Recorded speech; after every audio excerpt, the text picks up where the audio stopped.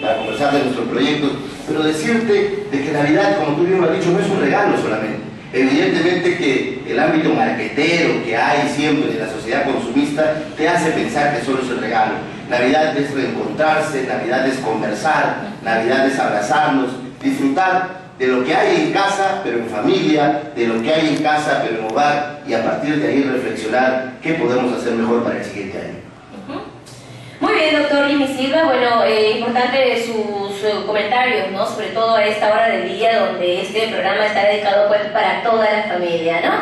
Bien, doctor, vamos entonces eh, conversando, dialogando algunos puntos importantes, ¿no? Creo que ya se aproximan fiestas y también pues este problema de la inseguridad sigue afectando a esta región. Y también otro de los problemas, doctor, creo que hemos discutido varias veces y en varias entrevistas, ¿no? Este tema de la seguridad, porque eso es lo que afecta, preocupa, ¿no? Los vecinos hoy en día, pues, quieren buscar de pronto soluciones y eso es lo que exigen a las autoridades. Pero hasta el momento, hoy en día, podríamos pensar los ciudadanos de a pie que las autoridades, ¿no? Están de brazos cruzados, no vemos estrategias, no vemos un plan de convivencia y seguridad ciudadana. Para usted, ¿cómo ve o cuál sería su comentario en esta gestión de estas autoridades? Mira, la inseguridad ciudadana que tiene hoy Tumbes es alarmante. Lamentablemente nos da una intranquilidad total y además nos pone en la picota del comentario nacional de que somos una de las regiones más inseguras del país.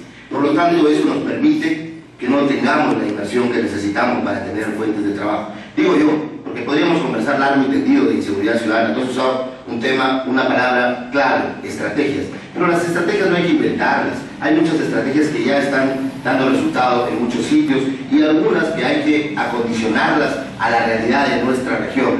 Pero tiene que haber, como siempre te digo, toda autoridad tiene que tener dos herramientas fundamentales. La primera es el principio de autoridad y la segunda es lo que significa la voluntad política. Si no hay voluntad política, no va a haber la decisión de la autoridad de invertir, de gestionar y direccionar su acción en base a darle seguridad a una región, a una provincia o a un distrito. Te digo yo, por ejemplo, tú mencionabas en el transcurso de tu programa que, somos, que son setenta y tantos eh, serenos que existen hoy, hoy en día. Pero para eso existen otra serie, otra serie de articulaciones que debe hacer la sociedad que debe hacer el gobierno municipal. Te comento yo, solo la seguridad ciudadana es vincular al sereno y a la policía. No, tienes a la sociedad civil, que también la sociedad civil está organizada. Tienes a las juntas vecinales, fundamentalmente tienes a los ronderos. Los ronderos son seres humanos que hace mucho tiempo, muchos años vienen prestando seguridad en la parte rural de nuestra región. Hay que integrarlos, hay que vincularlos a todo un sistema de seguridad ciudadana. Seguridad ciudadana tiene un lema que significa compromiso de todo, pero la seguridad ciudadana no solo es represiva, la seguridad ciudadana también es preventiva y hay muchas articulaciones que se pueden hacer con referencia a lo que significa la no solo la represión, sino la prevención. Por ejemplo, el sistema de monitoreo de cámara no es un sistema represivo, es un sistema preventivo porque ya el delincuente está, está notificado, que lo pueden identificar y en base a ese miedo que debe tener va a permitirse no estar cerca de cometer actos delictivos con tanta frecuencia.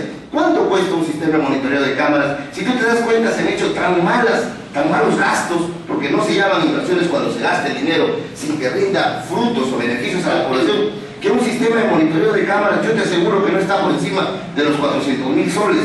¿Cuánto de ese dinero ya se ha invertido o se ha gastado, como digo yo? Pero cuando hablo de inversión hablo de, de actividad productiva, entonces, y no vemos ningún resultado. Todas estas cosas que yo te digo no las estamos inventando en Renovación Tupecina. En Renovación Tupecina hoy no, venimos trabajando con todo un equipo técnico y además de ello, en la campaña pasada hicimos una propuesta de seguridad ciudadana de utilizar los recursos que teníamos, pero utilizarlos eficaz y eficientemente, pero con compromiso, no solo esperando que la policía haga su trabajo, no solo quejándonos que no tenemos serenazgo, no solo quejándonos que no tenemos presupuesto, hay que hacer uso del presupuesto en la cantidad que nos viene y además utilizar esos mecanismos legales, por ejemplo, lo que podemos usar por concepto de cano para seguridad ciudadana. Pero hay que tener esa voluntad política, hay que comprometer a la actividad privada, o acaso los ciudadanos, nada más los que tenemos nuestra casa, necesitamos seguridad, los bancos necesitan seguridad, las empresas privadas necesitan seguridad. ¿Por qué no articulamos a esa sociedad civil, empresarial? empresarial,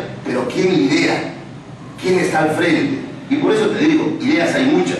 Lo que hace falta es la voluntad política, el principio de autoridad, que la renovación tumbesina existe y es por eso que lo expresamos a la población tumbesina, que este es el símbolo de las próximas elecciones, la llave. La llave, la llave, la llave, ¿no?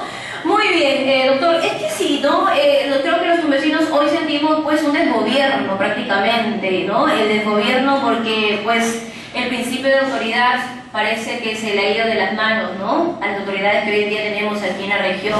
Poco nada, uno siente que han hecho pues por trabajar importantes proyectos o por trabajar, por elaborar importantes estrategias que sirvan, ¿no? Para la seguridad que exigen y que realmente pues esto esperamos todos los tumbesinos. Bien, ahora doctor, otro problema también muy eh, álgido también de esta región es pues todo este problema que está en la boca de todos los vecinos, ¿ah? Y para nadie, para nadie es extraño este tema de la corrupción, doctor. Estamos ocupando el segundo lugar en corrupción y esto de verdad que es vergonzoso, muy penoso, pero es nuestra triste realidad, ¿no? Ahora, obras sobrevaloradas, esta situación que de verdad eh, este periodo del gobierno regional también prácticamente ha sido pues ya muy nefasto para esta región. Ahora, doctor, ¿cómo usted podría erradicar todo este problema de la corrupción? Mira, evidentemente que a partir del 1 de enero de 2015 vamos a elaborar intensamente en varios sectores y en varias necesidades que tiene nuestra población. Así como hablamos de seguridad, hablamos de una gestión municipal, de una gestión regional que no sea corrupta, de una gestión municipal que dé visos de eficiencia, de transparencia y de calidad. Pero ¿sabe qué? El orden tiene que partir por casa. Y a partir de ahí, los mecanismos de fiscalización tienen que ser de forma eficiente. Pero no, tú no puedes, por ejemplo, te pongo, te digo algo, una obra que tiene 180 días de plazo, tú no la puedes ir a fiscalizar el día 150. Tú la tienes que empezar a fiscalizar el día 15, el día 20.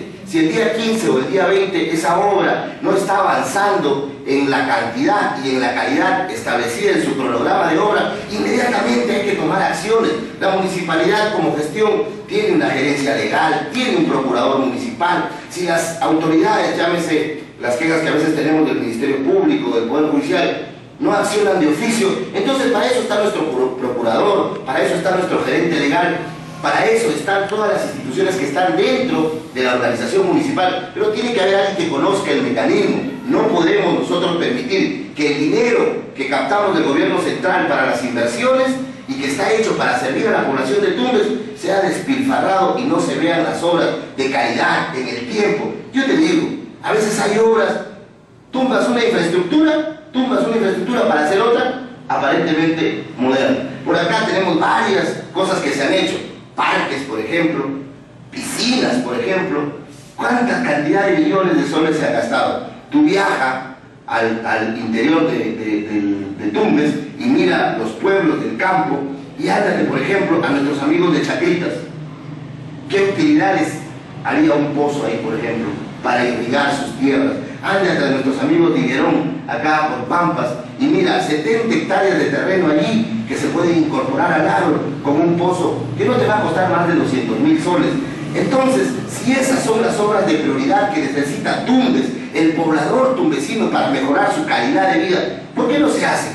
No se hacen porque no hay la suficiente capacidad de darse cuenta que ahí está el desarrollo. Y ahí es donde viene la corrupción. Y ahí es donde viene nuestra población y se siente tan desencantada de la clase política. Por eso es que nosotros vamos a fiscalizar nuestra gestión, vamos a buscar que los funcionarios que elijamos, que las personas que van a trabajar con nosotros tengan ese espíritu de colaboración, estén con esa aptitud mental de que estamos hechos para servir. Evidentemente ganar nuestros emolumentos, ganar nuestros sueldos, pero fundamentalmente hacer las cosas bien, que el poblador tumbesino sienta que su autoridad está pegada a él para hacer actos que vayan a beneficiarlo. Evidentemente que en el transcurso hay objetivos que se van redefiniendo porque las cosas se van dando de acuerdo al equipo humano con el que trabajas, a la población a la que vas a servir, a las circunstancias que se van dando, pero cuando uno tiene la capacidad y cuando uno está preparado con principios fundamentales de honestidad, de capacidad y de trabajo, las cosas tienen que ir fiscalizándose y poco a poco los índices de corrupción que hay van a ir bajando. La corrupción no va a desaparecer de la noche a la mañana, es todo un proceso también de seres humanos que estamos cada vez vinculados a ese círculo vicioso de hacer las cosas mal. Por eso es que Renovación Tumbesina propone un cambio de actitud, ahí. No, y a todo esto, doctor, déjeme decirle que esta situación, ¿no? Solamente eh, hace pues que la ciudadanía tenga desconfianza hoy en día de los candidatos también, doctor, porque realmente fíjense, antes pues conocíamos o veíamos a un Gerardo Viñas que decía pues vamos a luchar por los pobres, ¿no? Ahora le tocan los pobres. ¿Y cómo estamos los pobres hoy día? Peores que nunca. Y es que esa situación es la que está muy, muy, muy lamentable hoy, ¿no? Y, de verdad que hay muchas personas que decimos a la hora, caramba, que tuve esto, que elegir a tal o cual candidato. Y es que por eso siempre es bueno, creo que los medios ocupan un lugar muy importante, porque ya se aproximan nuevas elecciones y debemos conocer primero, antes que el candidato, la calidad humana, sus principios, sus principios, valores, señores. Eso creo que es muy fundamental hoy en día, tratar de darnos a conocer a todos ustedes tal y como es un candidato a la política. Realmente pues creo que ya no necesitamos, ya no queremos más mediocres. ¿Qué tal, señora Luz? Su llamada es una luz para nuestro programa el día de hoy. La interrogante para doctor Invisible. Quería.